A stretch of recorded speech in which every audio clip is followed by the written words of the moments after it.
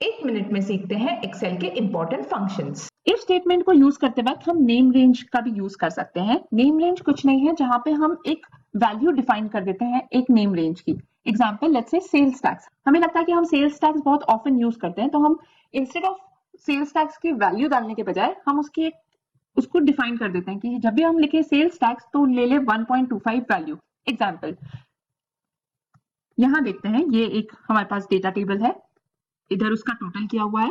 अब name range को define करने के लिए हमें जाना होता है फॉर्मूला बार पर यहाँ और यहाँ से नेम मैनेजर और यहाँ पे आप न्यू सिलेक्ट कर देंगे तो ये इस तरीके से ओपन हो जाएगा राइट जैसे यहाँ पे डिफाइन किया हुआ है शिपिंग और स्कोप मतलब हम पूरे वर्कबुक में इसको कवर करना चाहते हैं और कमेंट आपके रेफरेंस के लिए।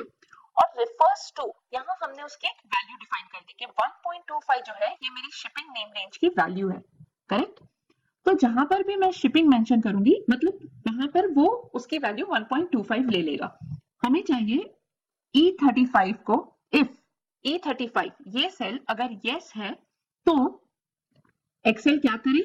इन दो सेल को सम करे और उसे मल्टीप्लाई कर दे 1.25 ये हमने मेंशन कर दिया और इसका आंसर आ गया 6.25 अब यहाँ पे 1.25 के बजाय इसको हटाकर हम डाल देते हैं शिपिंग यहाँ आप देख सकते हैं कि उसका नेम रेंज का टैग आ गया है, आप टैप करके उसका सेलेक्ट भी कर सकते हैं। एंटर इस केस में भी हमें सेम वैल्यू आ गई 6.25 तो या तो आप वो नंबर मेंशन करो, या फिर आप नेम रेंज दे सकते हैं।